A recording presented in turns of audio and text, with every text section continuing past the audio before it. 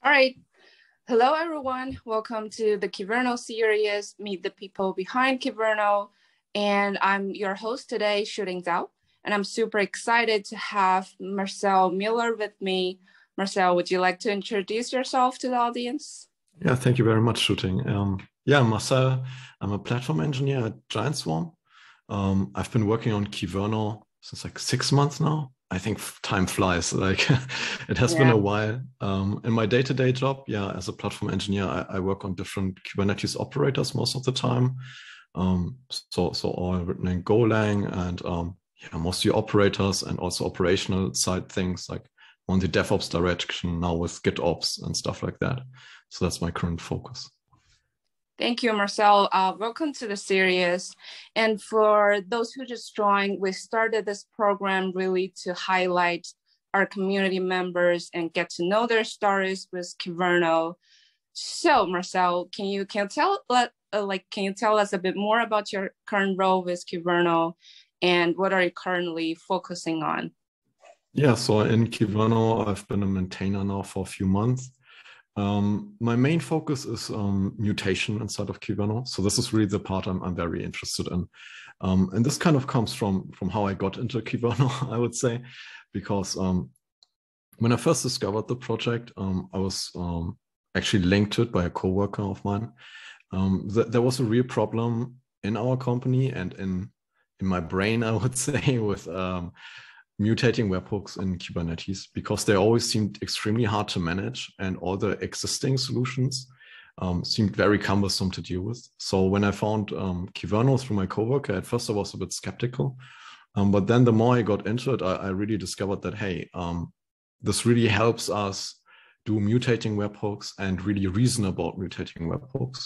So not only have a, a nice interface to create new ones, but also reason about existing ones and that's how I then got into the project to kind of work on this specific feature set of, of mutating webhooks and improving Kyverno along the way. Um, so, so mostly spawned out of my need to have um, support around um, mutating webhooks or, or, more support, and then discovered Kyverno and really saw, hey, this could go somewhere and this could really be helpful to me. And then put more effort into it to also contribute to make it yeah, better for, for my use cases as well. Awesome. So by the way, Marcel is the maintainer of the Kyverno project, and he had brought a lot of good things into Kyverno and, eh, along with his folks, uh, apparently. so um, actually, that's my that's, that's my like the second question. Since you're using mutate policy mostly, like I'm interested to know more about that use case. Like, what kind of use case do you have, and do you want to address with Kyverno mutate ability? Yeah, so um, one thing we um, worked on a lot was Giant Swarm itself is a Kubernetes um, service provider. So, so what we do is we, we have a product where we manage Kubernetes. And for that, we want to give our customers um, very direct access to manage resources um, themselves. So that means, for example, we use Cluster API now very heavily um, and allow our users to create Cluster API resources themselves.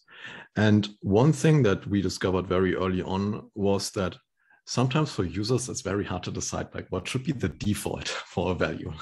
And um, for that, one approach is to, to use a um, mutating webhook that then defaults the specific value for a custom resource. So this is a big focus we had um, early on. And with Kyverno, it became really easy to have a set of rules that you could see these are applied to a specific type of custom resource and then see, okay, if I input no value, most likely this is going to come out of it. Or if I input some other value, something else might come out of it. Um, and that really helped us to make it transparent on uh, what the mutating webhook is doing. So not only give some kind of way to have mutating webhooks, but also make it transparent between users to see, hey, this is the set of rules. And I can try also locally to see this is going to be the outcome if I apply my custom resource. So that has been really awesome. helpful for us. Yeah, yeah. So, so like it sounds like most of your use cases are using the mutating webhook to, you know, patch the admission request. But I know um, there are also like other feature requests to kind of post mutate based on the existing resources. I don't yes. know if you you have such use cases or so sometimes we have such use cases um, currently so sometimes we do do this um, the one problem we found a little bit with um, this is it clashes a little bit with gitops um, workflows so a lot of the right. time um, people want to use GitOps workflows, but still have a level of defaulting. And for example, Flux does it in a way that they first dry run your request, then put all the changes in, and then Flux will apply them. If you then later on um, start again changing the object, um, it didn't really work for us currently so much. I can see where use cases like this exist. It's just for us right. Um, internally uh, you then get into a fight between, like, for example, Flux and your uh, and Kyverno, which is not really desirable for us. Um, yeah. just to expand really quickly, um, we, we also use the validation features now more and more, mm-hmm. mostly because we've realized that being able to easily create validation routes is also extremely helpful. Previously, what we did for a long time was um, so, so we have a lot of developers on our team, right? And developers also love writing code. So a lot of the time we would write admission controllers in Go just directly. Um, but with that also comes a, a, burden, in my opinion. And the burden is uh, maintainability. Whatever code you write, you also need to maintain yourself. And this is really where, where I believe uh, a policy management like Kyverno is, is really powerful because you can spend more time working on the code you actually want to work on and less time on maintaining your your self-written admission controller because now you can just write a Kyverno policy, you can write unit tests against it, you can um, write integration tests against it, and then not worry about it anymore that I don't know your your Go version is out of date or something, and you need to update your Go modules and so on, because now it's all handled by Kyverno. And this is what we're doing more and more. So we're kind of defining Kyverno more and more as an interface of these are the policies we have. And then you can very easily see these are the validation policies we have. These are the mutating policies we have. And it just gives us more clarity and frees up more time for other things. Yeah, yeah. Glad to hear that Kyverno helped there. All right. Um, as you know, 160 is out today with lots of good features and enhancements. And by the way, we did a CNCF live stream recently and mm-hmm. highlighted exciting enhancements in this release. And I believe the, the recording is available on social media, so feel free to check it out. Um, okay, back to my question, like, what are you most excited about Kyverno, not just for 1.6, but the entire project?